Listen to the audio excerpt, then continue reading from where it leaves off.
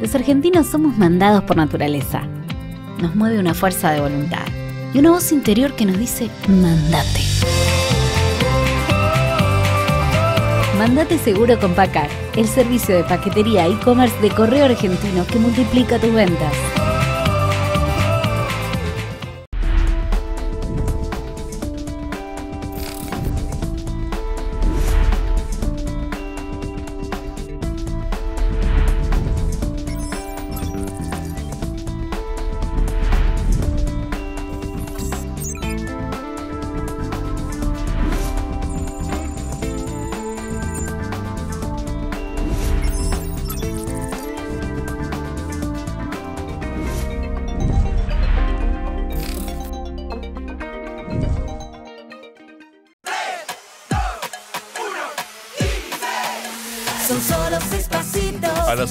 Hay que ayudarla. Con el Kini estás a seis pasos de tus sueños. ¿Qué esperás para cumplirlos? 6, 5, 4, 3, 2, 1, Kini 6. Próximo pozo, 1.250 millones de pesos. por acompañarnos en esta nueva edición de Chacra TV Noticias, de esta manera dando inicio a una nueva ronda informativa aquí en la ciudad de Buenos Aires, con 17 grados de temperatura, con el cielo que se encuentra parcialmente nublado. En un ratito vamos a estar hablando de cómo va a continuar el tiempo para el resto de la jornada, también para los días venideros, pero ahora es el momento de conocer estos títulos destacados de la jornada. Más exigencias de China para importar soja. El primero de diciembre China implementará un nuevo estándar comercial para importar poroto de soja con una humedad base de recibo del 13%. Vuelven a reducir la estimación de producción de trigo, se cosecharían 15 millones de toneladas, según GEA, la Bolsa de Comercio de Rosario. Las malas condiciones al momento de las siembras en Argentina consolidaron un nuevo año de caída en el área sembrada, alcanzando de esta manera un mínimo de los últimos ocho años, con 5,4 millones de hectáreas a nivel país. Prevén aumentar 144% los fondos para emergencia agropecuaria tras la profunda sequía. El Poder Ejecutivo prevé un fuerte aumento de fondos para la emergencia en el campo y se ve reflejado en el presupuesto 2024. La partida vinculada a políticas para la gestión del río agropecuario tiene recursos asignados por 44 mil millones, de, eh, un 144% más que los 18 mil millones de pesos previstos para el corriente ejercicio.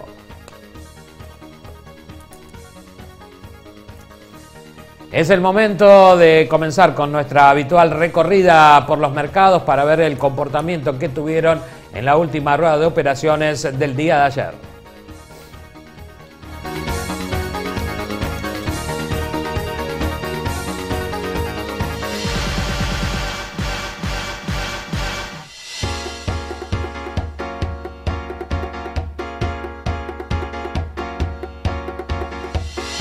Muy bien, y comenzamos entonces a desarrollar la recorrida por las monedas, última rueda de operaciones del día de ayer y el dólar oficial en el día de ayer sostuvo su valor en la compra eh, en 347 pesos, en la venta 367 pesos. Una, una jornada tranquila en la City porteña en el día de ayer luego del debate y eh, viendo de reojo, ojeando así como cuando uno juega el truco que va a pasar con la baraja, algunos analistas estiman que va a tener un importante movimiento en los próximos días acercándose a las elecciones. Por ahora eh, se viene sosteniendo este valor, el informal eh, en la compra en 790 pesos, en la venta 800 pesos. El dólar mayorista eh, en la compra 349 pesos con 5 centavos, en la venta 350 pesos con 5 centavos. En tanto el euro tuvo un pequeño descenso para ubicarse en la compra en 368 pesos con 37 centavos y en la venta 388 pesos con 59 centavos. En el día de ayer también hay que decir que el Merval tuvo un pequeño repunte, no así los bonos que eh, se han caído y por el momento allí también eh, se está viendo cómo va a ser el comportamiento que tengan los mercados bursátiles. Vamos a ver qué sucede a partir de las 10 de la mañana cuando finalmente se reabran nuevamente los mercados y este es el punto de equilibrio que se va a tener eh, por lo menos a lo largo de esta semana con estos valores en el billete norteamericano. Cambiamos ahora de tema y vamos a hablarte del tiempo. Y te decía que estábamos con una temperatura realmente agradable para esta hora de la mañana, con 17 grados de temperatura, con el cielo que se encuentra parcialmente nublado. Pero atención porque eh, iremos eh, teniendo cada vez más el cielo cubierto en la ciudad de Buenos Aires y a la tarde el Servicio Meteorológico Nacional está anticipando la probabilidad de algunos chaparrones. La temperatura en 21 grados, temperatura alta de primavera y hacia la noche nuevamente presencia de chaparrones con un leve descenso de la temperatura que se ubicará alrededor de los 16 grados. Pero vamos a ver cómo va a continuar el tiempo para el resto de la semana. El día miércoles con cielo parcialmente nublado, ya vamos a dejar las lluvias en el olvido. 11 grados la mínima, 20 será la marca térmica máxima. Y el día jueves, eh, el mejor día de la semana a nivel climatológico, cielo absolutamente despejado, 10 grados de mínima, 24 la máxima. Ya el mercurio empieza a picar alto, vamos a sentir un calorcito, frías mañanas, templados medios días y hacia la tarde vamos a tener eh, un poco de calor. El día viernes 12 de mínima, 23 la máxima, con cielo mayormente nublado. Así entonces el tiempo para lo que resta de esta semana en la ciudad de Buenos Aires. Abrimos nuestra ventana de aquí de los estudios de Chacra Televisión y allí estamos contemplando lo que ocurre en el centro neurálgico de nuestra ciudad de Buenos Aires este ir y venir constante de tránsito vehicular que tenemos a esta hora de la mañana cuando pasaron 21 minutos de las 9 de la mañana. 17 grados la temperatura, allí vemos el cielo en algunos lugares con algunas nubes, pero el sol está siendo por ahora eh, preponderante su presencia. Ir y venir constante del tránsito, allí también tenés nuestras redes sociales para que te vayas comunicando con nosotros en este ida y vuelta que te proponemos todas las mañanas aquí en la pantalla de Chacra Televisión. Y comenzamos ahora con el desarrollo de la información y en este caso para contarte que más exigencias de China para importar soja el primero de diciembre China implementará un nuevo estándar comercial para importar poroto de soja con una humedad base de recibo del 13%. El nuevo estándar representa un desafío para Brasil y la República Argentina porque actualmente la base de recibo de soja es de un máximo de 14% y 13,5% respectivamente. En tanto, en los Estados Unidos y Uruguay la base de recibo de la oleaginosa es del 13%. En términos logísticos, Brasil, un país con regiones subtropicales, es el proveedor más complicado con la nueva exigencia china, dado que deberá invertir más tiempo y recursos en acondicionamiento del grano para poder embarcar soja con el nivel de humedad mínimo exigido por la nación asiática. Más exigencias de China para importar soja.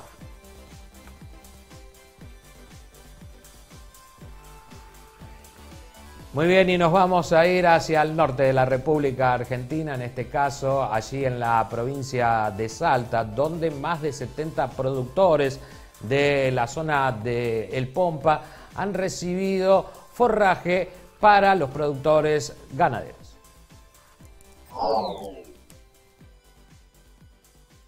Trabajando acá en un, lugar que se llama Cerro Negro, queda en el norte del departamento La Poma, y desde ayer que estuvimos en otros parajes también, trabajando con distintas comunidades, con distintos pequeños productores, muchos de ellos productores de llama, y estamos trabajando para hacerles una entrega de forraje, en este caso de soja desactivada, a través del Ministerio Público Fiscal.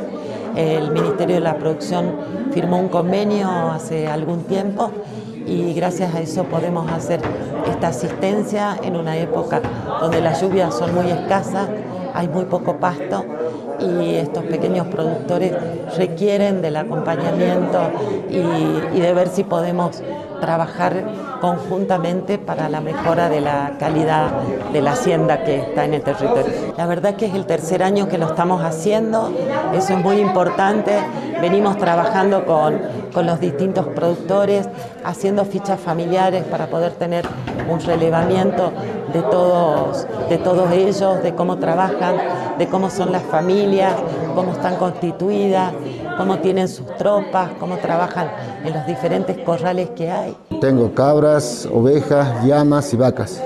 Y bueno, es una ayuda, más no que nos va a favorecer para todo, todo el tiempo que nos falta todavía para que llegue el verano, pero sí, es una ayuda. Yo tengo ovejas, cabras, llamas, vacas. Bueno, pues la ayuda por flacura. Y ahora tiempo ya están necesitando forraje las cabras todavía.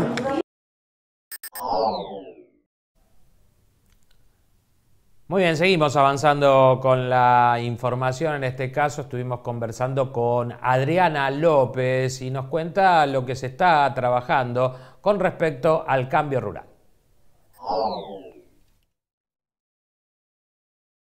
Cambio Rural, eh, como vos decís, cumple 30 años este año y quiso como festejarlo eh, reuniendo a los representantes de grupos de cambio rural, a los promotores, asesores y a los agentes de proyecto. Por eso estamos haciendo este encuentro en la experimental eh, Salta, en donde se reunieron los promotores, los representantes y los agentes de proyecto de más de 32 grupos.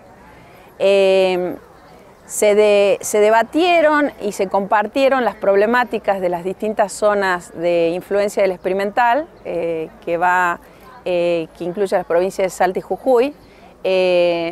se trabajó sobre la metodología de, trabajo de cambio rural y cómo impacta en los grupos de productores en los asesores y en el trabajo diario de los agentes de proyecto de INTA. Eh, se sacaron conclusiones y se está como pensando y planificando eh, un trabajo futuro para mejorar el apoyo a, los, a las producciones que se realizan en, eh, los valles este, templados, Calchaquí, de influencia del experimental a través de, este trabajo en grupo, que es lo, que rescatamos. ¿no? Porque la metodología que, que, propone Cambio Rural es la del asociativismo, el trabajo en grupo y con objetivos comunes. Y eso nos lleva a que los productores este, se vayan conociendo y vayan como a la vez eh, incorporando tecnología, aumentando la producción, eso lo lleva a buscar mercado y a buscar formas de comercializar. ¿sí? Y, lo óptimo en muchos casos es llegar a, la cooperativa, a, la venta conjunta, a la compra conjunta de insumos. Eh, pero bueno, eso es un trabajo que lo tiene que hacer el, grupo eh, con el apoyo del, promotor asesor eh, en un trabajo que es todos los meses, el de reunirse, el realizar, el realizar la reunión grupal y también las visitas individuales para los problemas que puedan tener los productores en sus predios. Cambio Rural es una política pública que evidentemente tuvo buenos resultados porque hace 30 años que estamos. Eh, entonces lo pensamos eh, como fortaleciendo, por eso se hace el encuentro de representantes, fortaleciendo al grupo este, para que trabaje, para que demande también una política pública, porque las producciones que, que tienen muchos de los grupos todavía necesitan un apoyo del Estado un apoyo en el, en el tema de, de por ahí, no, no solamente subsidios para la producción, el, el producto este, también necesita crédito, pero créditos blandos este, para poder avanzar y para poder crecer. Eh, y, y, sí, el productor lo hace con un asesor, porque el asesor es el que lo ayuda a aglutinar las cosas, a presentar los papeles, a, cumplir con ciertos requerimientos. Este, que por ahí un productor solo no lo hace, pero en grupo lo, lo, lleva adelante. La experiencia es como gratificante y, uno ve cuando los recorre que ellos valoran eh, eh, el tema de, formar parte de un grupo, de tener una identidad, de poder eh, realizar salidas, hacer intercambios. eso yo creo que el productor este, lo valora. por ahí en estos intercambios nos salen todos este, y bueno, la, el tema es que todos eh, sean capacitados y todos participen de capacitaciones y todos puedan hacer estos intercambios. Eso es lo, que uno este, pretende y lo que tenemos que planificar y mejorar.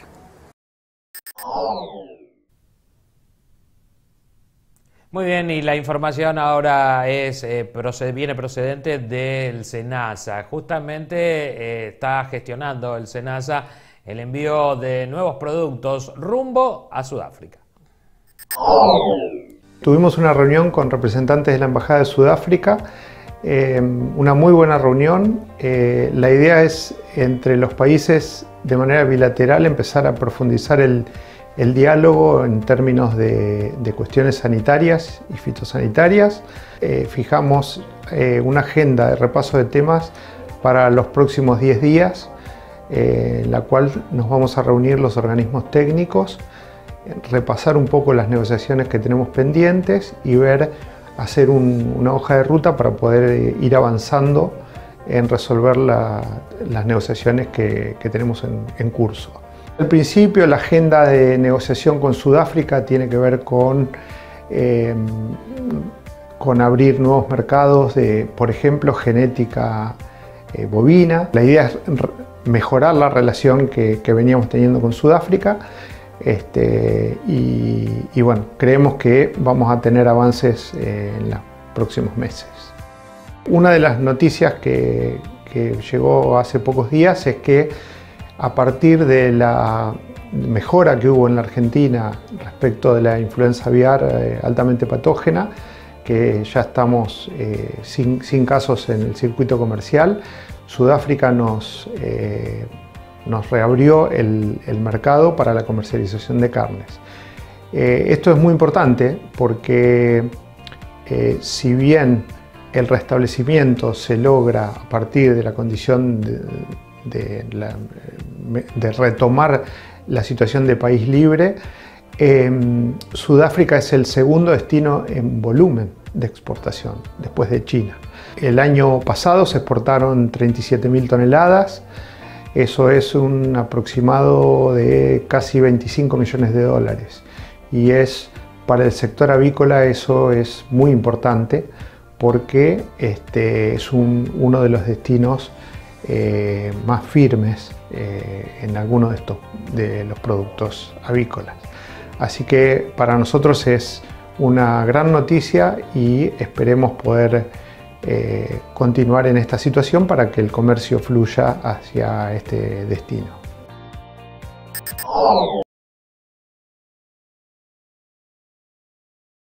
Y conversamos con Roberto Urquía eh, sobre la complicada situación que hoy está viviendo el sector aceitero. Él allí dice que la Argentina ha dejado pasar eh, grandes oportunidades, que hoy Brasil está trabajando muy bien y que la Argentina dejó pasar el tren. Está pasando un momento complicado, este quiebre de cosecha que hubo en Argentina, que creo que fue histórico, ¿no? Este, hace que la capacidad este, esté ociosa casi en un 60%. Decir que en parte se atenuó, en parte, con la posibilidad de traer para moler soja de, del Mercosur, digamos, Paraguay, Bolivia y fundamentalmente Brasil, que tuvo una cosecha que derrama soja no solamente hacia el sur, sino hacia todo el mundo, 150 millones de toneladas. Pero la situación de la industria es de un año difícil, que indudablemente lo que más deseamos es que pase pronto y podamos empezar a pensar en la nueva cosecha, que todos los indicadores dicen que vamos a hacer un año niño, en donde la cosecha de soja, la cosecha de maíz, la cosecha de trigo y todos los otros cereales y oleaginosas tendrían que venir normalmente. Así que estamos en eso. De acuerdo con la capacidad instalada que hoy tiene la industria, ¿cuánto puede crecer para utilizarla al 100%? Bueno, Argentina dio un salto en la capacidad de molienda muy grande hace algunos años atrás. Tiene que crecer mucho y Argentina está lejos del momento de máxima superficie sembrada con soja. Tuvimos casi 20 millones de hectáreas en el periodo 2015-2016. Ahora estamos en 16 millones, 4 millones menos. Este, pero bueno, eh, a la soja hay que sacarle el pie de encima, porque con estos niveles de derecho de exportación, 33%, no, no hay cultivo, no solamente la soja, no hay cultivo que pueda sacar la cabeza. Este, en Argentina, la verdad, se han perdido 500 millones de dólares por mes por no liberar todas las cosas que la soja puede traer.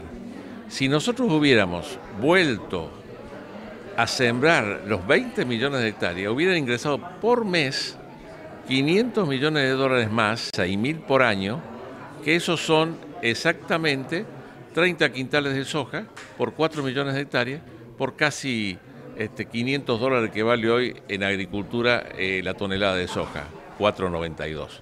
O sea que Argentina ha perdido oportunidades, todo el mundo la está viendo, crece, crece enormemente y exponencialmente Brasil, crece este Paraguay, crece Bolivia y nosotros estamos mirando para otro lado. Así que yo confío plenamente que la gente que le, toque gobernar Argentina, sea cual fuera de los candidatos, entienda esto de una buena vez y para siempre, que no se puede tener la soja pisada, este, está como este, prisionera. La soja no, parece que la gente no quisiera que crezca, cuando en realidad acá tiene que crecer la soja, el maíz, el trigo. Este es un país, no hace falta ir muy lejos, vayamos a Brasil, mirá lo que pasa en Brasil. Así que somos muy, optimistas para el futuro en Argentina y ya no solamente Argentina va a depender de una muy buena producción del campo y de la agroindustria, sino que también va este, a tener ingresos por el crecimiento importante del litio, por el crecimiento de vaca muerta, que nos va a permitir dejar de importar y de esa forma utilizar dólares que son tan escasos en nuestro país para traer energía y poder traer fertilizantes, traer otra serie de insumos que el campo tanto necesita. Así que soy muy optimista para el futuro. Muy bien, es el momento ahora de hacer una breve pausa, pero quédese con nosotros. Enseguida regresamos con más información.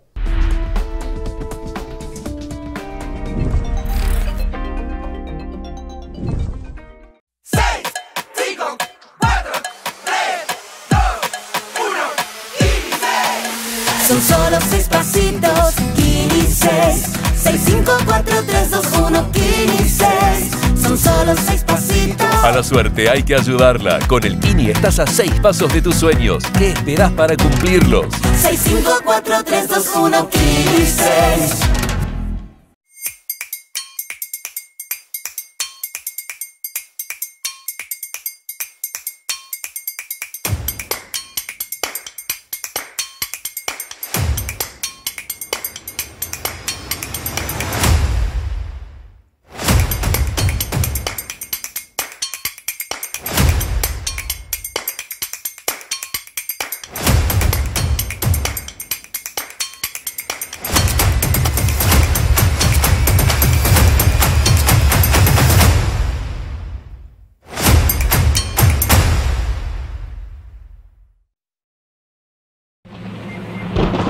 La Dulce Cooperativa de Seguros somos especialistas en granizo, con más de 100 años de experiencia protegiendo los cultivos de nuestros asociados y brindando un servicio de excelencia en todo momento. Solvencia, nuestra garantía. 0800-222-6060 www.ladulceseguros.com.ar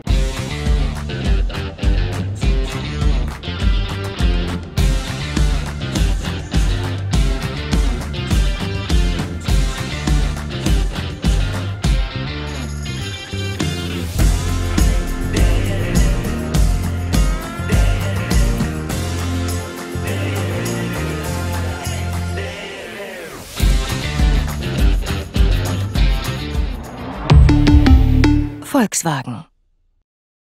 Su desempeño y el respaldo de una gran empresa de 60 años en el mercado harán de la sembradora Crucianelli su mejor inversión.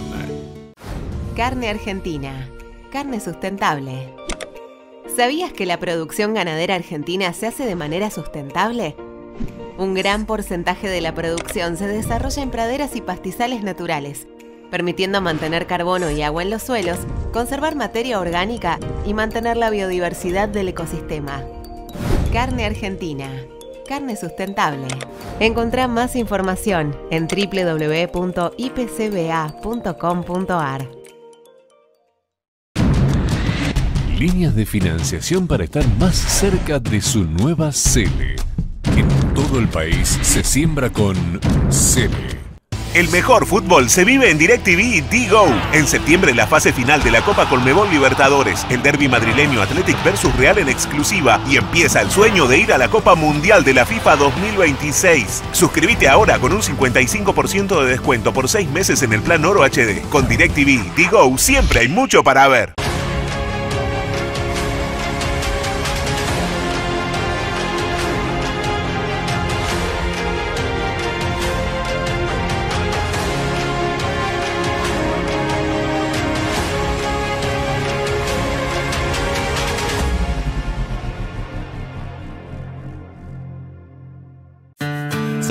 Bien el esfuerzo que hacen miles de argentinos que trabajan e invierten en nuestra tierra. Y queremos estar ahí para acompañar e impulsar su negocio, haciendo que su día a día sea más fácil. Si el campo evoluciona, evolucionamos todos. Galicia, siempre junto al campo. Es hora de ganar. Entrega tu cabezal usado y llévate un Draper nuevo. O podés reformar tu convencional a lona. piersantiplataformas.com.ar ¿Buscas un seguro que te la haga fácil? En Experta Seguros te damos descuentos desde el primer día que nos contratás y podés gestionar todo al toque de manera digital. Consulta con tu productor asesor de seguros. Experta Seguros, un seguro que te la hace fácil, muy fácil. Acron, el mejor negocio en tu campo. Tecnología, asistencia al cliente y financiación única. Para agricultura, ganadería y lechería. Acron, el mejor negocio. Acron, siempre Acron. Nuestra yerba de hierbas serranas es un clásico. Y si le agregamos la frescura y sabor a limonado del cedrón, hierbas serranas con cedrón incorporan más sabor a tus mates. Seguinos en Cachamay Oficial. Cabezal desgranador Stripper GFAS Ultra Liviano. Duplica la capacidad de cosecha. Reduce a la mitad el consumo de combustible. Elimina las pérdidas de cola. Deja el rastrojo en pie, facilitando la siembra de segunda. Peines desgranadores de acero de alta resistencia a la abrasión. Bajo peso del cabezal realizado con componentes de fibra de carbono. Apto para la cosecha de trigo, cebada, centeno y arroz.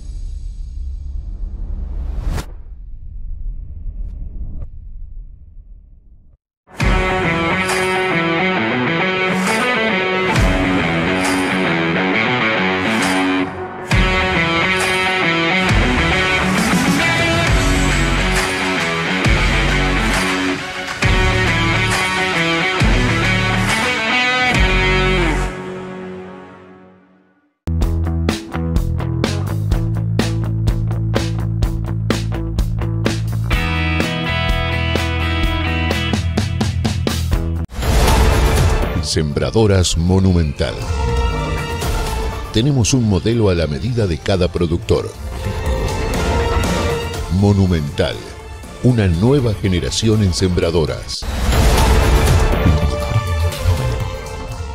Una nueva mañana comienza. Es natural lo que es parte del día a día. Es natural ser digital. A tu manera, a tu tiempo. Para conocer mejor el campo y ver el cultivo crecer digital para ser más eficiente, para producir más, para sembrar y cosechar. Es natural ser digital, para el pequeño, para el mediano y para el gran productor. New Holland, digital como necesitas, digitales como vos.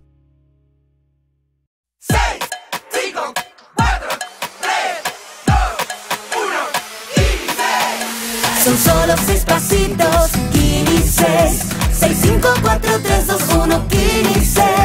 son solo seis pasitos. A la suerte hay que ayudarla. Con el Kini estás a seis pasos de tus sueños. ¿Qué esperas para cumplirlos? 6, 5, 4,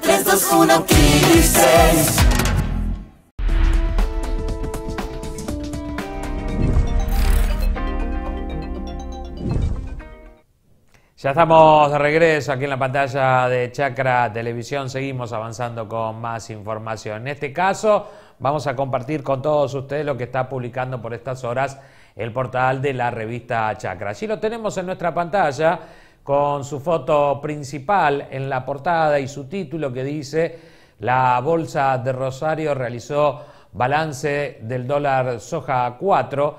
El gobierno finalmente definió prórroga al programa hasta el próximo 25 de octubre. La edición vigente tuvo menos dinámica comercial, pero ayudó a seguir consiguiendo las divisas. Más títulos que tiene el portal por estas horas. Eh, allí lo vemos, lechería. Crean el mapa de los caminos rurales del sector lechero bonaerense.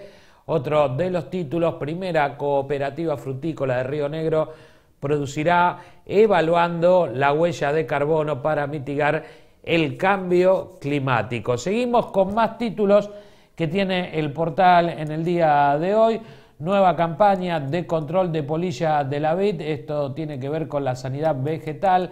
Internacionales, el menor consumo de cerdo en China da muestras de debilidad económica. Nos vamos ahora a las noticias destacadas que tiene el portal. Allí los tenemos. Distribuyen la cuota de azúcar crudo para exportar a Estados Unidos. Tema referente a la actualidad. Por la sequía, las exportaciones del agro cayeron 50% en el año.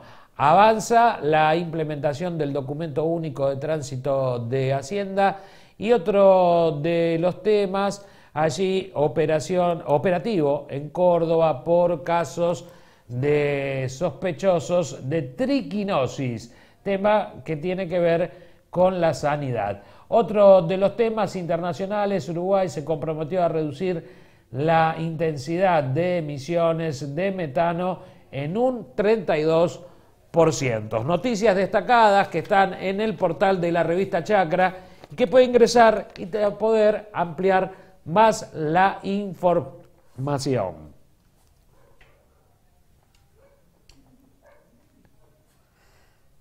Muy bien, nos vamos ahora a una noticia muy, pero muy importante para todos los productores. Tiene que ver con el tiempo. ¿Cuál será la cantidad de lluvias que tendremos en los próximos días? La humedad de los suelos. Todo esto lo conocemos a través de este reporte de Agroclima.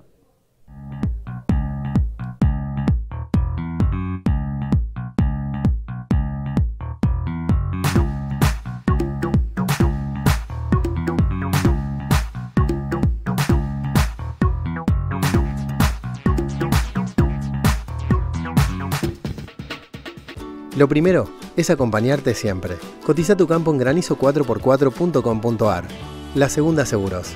Lo primero, sos vos. El fenómeno El Niño se activó durante esta primavera, pero el avance viene siendo irregular por los vientos polares y posiblemente deje amplias extensiones sin aportes pluviométricos adecuados. Y desde el inicio de la temporada 2023-2024, el anuncio del desarrollo de un niño vigoroso con mucha presencia nos viene dando una sensación de optimismo, esperando un inmediato incremento de las precipitaciones para poner fin a la prolongada sequía causada por los tres episodios consecutivos de la niña que afectaron a las campañas agrícolas anteriores. Al no concretarse el inmediato retorno de las lluvias, el optimismo dio un paso a una sensación casi pesimista, pero es necesario aclarar que es muy raro que los efectos del el niño se activen durante el otoño y el invierno, es decir, meses que nos anteceden, siendo más frecuente que lo hagan a comienzo de la primavera y se mantenga hasta el invierno del año siguiente, es decir, hasta el invierno 2024. Pero por esta causa, el otoño y el invierno 2023 conservó rasgos propios de la niña, es decir, de una sequía, un comportamiento que se repitió en el cinturón maicero norteamericano que atravesaban la primavera y el verano del hemisferio norte, nosotros viviendo el invierno. Pero aunque el presente episodio de El Niño es sumamente vigoroso, hizo sentir sus efectos en Australia, la India y otras regiones del mundo, y es muy probable que las consecuencias, la presencia del niño sobre el cono sur, resulten perturbados por una fuerte actividad de los vientos polares que impulsan las corrientes frías de Humboldt y Malvinas a lo largo de las costas de Sudamérica, obstaculizando la entrada de humedad hacia el interior y deprimiendo los mecanismos de lluvias. Durante las últimas semanas registramos cómo empezaron a recibirse precipitaciones localizadas en zonas del área agrícola y aunque el proceso fue irregular, subsistiendo grandes extensiones sin recibir un alivio efectivo, su ocurrencia constituye un signo del gradual desarrollo de este fenómeno, de El Niño. El proceso va a beneficiar a gran parte del área agrícola de todo el sur de América, haciendo que la marcha del clima evolucione hacia un estatus de normalización, a superior a lo normal también, porque estamos hablando de mayores aportes pluviales y con un régimen térmico menos extremo que durante la prolongada sucesión de eventos adversos que lo precedió, que es desde donde venimos. No obstante, la interferencia de los vientos polares va a impedir expresarse en forma completa al niño, siendo probable que subsista un amplio foco con aportes pluviométricos insuficientes en el interior del área agrícola de nuestro país, me refiero de Argentina, con su foco en el centro y el este de Córdoba, el norte de La Pampa también, el centro y el sur de Santa Fe, el sur de Entre Ríos, el extremo sudoeste del Uruguay y el norte de Buenos Aires, con focos secundarios en diversas zonas del área agrícola. Esta persistencia de los vientos polares por encima de su nivel normal hace probable que el otoño 2024 registre un final temprano de las lluvias y un comienzo moderadamente temprano de las heladas, dando paso a un semestre otoño-invernal con condiciones rigurosas. Puede concluirse que con un adecuado manejo y haciendo riguroso uso de la tecnología disponible, la mayor parte del área agrícola del cono sur podría obtener buenos resultados productivos, aunque algunas zonas no van a lograr una recuperación, una reparación del 100%, es decir, una reparación completa. Este informe, firmado y realizado por el ingeniero agrónomo Eduardo Sierra, especialista en agroclimatología.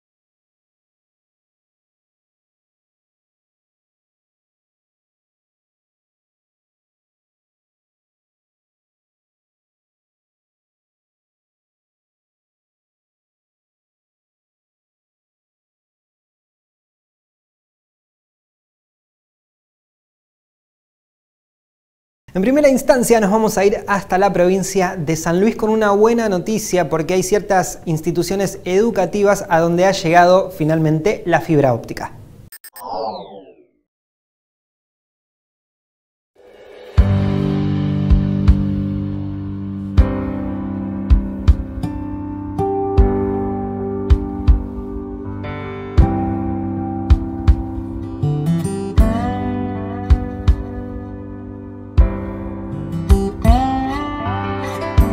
Estamos eh, en el embalse San Felipe con un cambio de tecnología. Hoy estamos ingresando con fibra óptica en la escuela Juan de la Cruz Molina, en la cual va a tener una importancia muy relevante a nivel de eh, flujo de datos. Eh, actualmente la escuela contaba con un vínculo de radioenlace y hoy llegamos con fibra óptica obteniendo velocidades increíbles. El beneficio de tener la fibra óptica en un sitio, en este caso como estamos en la escuela de, Embalse San Felipe, eh, podemos disfrutar de esa tasa de, transferencia de datos, de las cuales es el puntapié inicial para mejorar las infraestructuras existentes. Eh, con el cambio de tecnología que estamos haciendo, eh, mejorará las localidades de Embalse San Felipe, Renca, la parte de la localidad de San Pablo Em, las aguadas, las vertientes y las lagunas. Y aproximadamente son 80 personas que se vinculan a través del Wi-Fi público gratuito, eh, de las cuales también pronto vamos en, este, en la escuela donde estamos llegando con fibra óptica, vamos a instalar una nueva antena para eh, incluir a aquellas personas que están alrededor. A esto hay que sumarle también a las personas eh, de las otras localidades, ¿sí?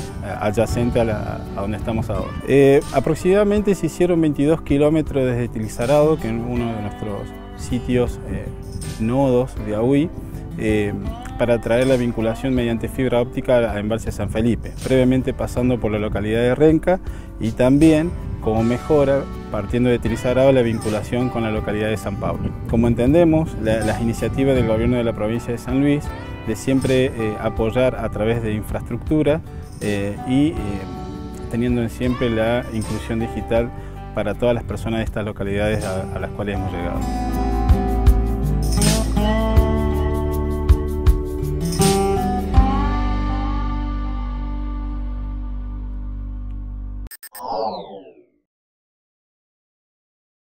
El director de Meta, Mark Zuckerberg, anunció que están trabajando en aplicar inteligencia artificial en gafas, en anteojos, y por eso es que se han fusionado con la firma Ray-Ban para una nueva generación de lentes con inteligencia artificial.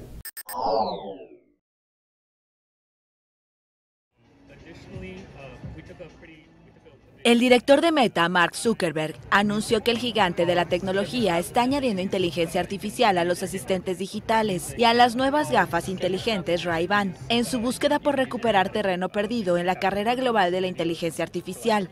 Zuckerberg hizo los anuncios en la conferencia Connect de desarrolladores en la sede principal de Silicon Valley, el evento de productos más importante de la compañía. Las gafas inteligentes de segunda generación de Meta y Ray-Ban, en asociación con Essilor Luxótica, tendrán un precio base de 299 dólares y llegarán al mercado el 17 de octubre. Permitirán a los usuarios transmitir lo que ven y lo que oyen en tiempo real, además de servir como soporte de asistentes virtuales para la vida diaria. Meta también presentó 28 asistentes de inteligencia artificial disponibles para contactar vía WhatsApp, Messenger e Instagram, con personalidades basadas en estrellas como Snoop Dogg, Paris Hilton y la estrella de YouTube, Mr.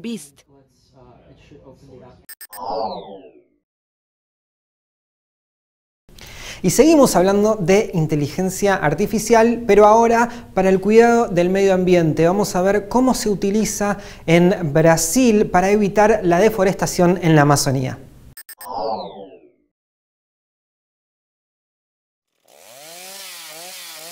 Cuando una motosierra se encienda para derribar un árbol en un lugar remoto de la Amazonía brasileña, un pequeño aparato de inteligencia artificial lo detectará y alertará a las autoridades en tiempo real. El dispositivo desarrollado por la Universidad del Estado de Amazonas parece un módem de Internet inalámbrica, pero es mucho más. Detecção La diferencia de este sistema es que puede detectar un ataque, un delito real o una amenaza en tiempo real. Por ejemplo, una invasión para talar árboles con tractores o motosierras, el sistema lo detectará. Detectará un brote de quema, tiene la posibilidad de detectarlo. um foco de queimada, ele tem a possibilidade de fazer a detecção. El proyecto fue bautizado Curupira, en honor a un ser de la mitología indígena conocido por su astucia para engañar a los cazadores y combatir a quienes destruyen la naturaleza. Fez uma imersão, a gente gravou áudios né, de motosserra. Al inicio del proyecto, grabamos audios de motosierras y tractores en la selva. Luego todos estos audios pasaron al equipo de inteligencia artificial para entrenarla con esos audios. Es decir, para que cuando se cargaran en el dispositivo, solo reconociera esos audios y no los sonidos característicos de la selva, que son los animales, la vegetación, la lluvia. É, vegetação, chuva. La fase piloto puso a prueba 10 prototipos en las afueras de Manaos, en regiones boscosas que permitieron simular las condiciones de los lugares más remotos de la selva. Según los investigadores, los estudios preliminares son muy prometedores, por lo cual sus creadores buscan ahora financiamiento para fabricar y colocar entre 100 y 1000 sensores. El objetivo del proyecto es que sea un complemento de otros sistemas de vigilancia ya existentes, como el control de deforestación por imágenes de satélite. Pero mientras que las imágenes satelitales detectan la superficie ya deforestada, este sistema podrá avisar cuando se esté iniciando el proceso de daño y ayudar a prevenirlo.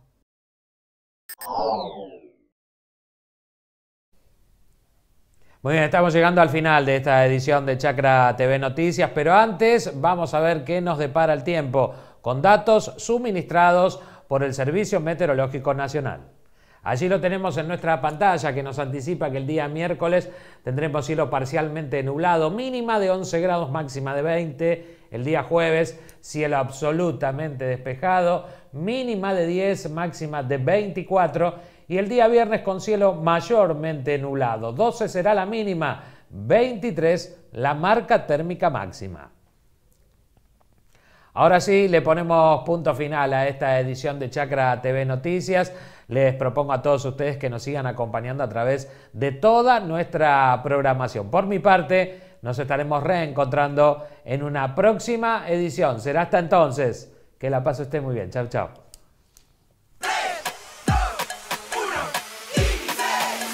Son solo seis pasitos. A la suerte hay que ayudarla. Con el Kini estás a seis pasos de tus sueños. ¿Qué esperás para cumplirlos? 6, 5, 4, 3, 2, 1, 6. Próximo pozo, 1.250 millones de pesos.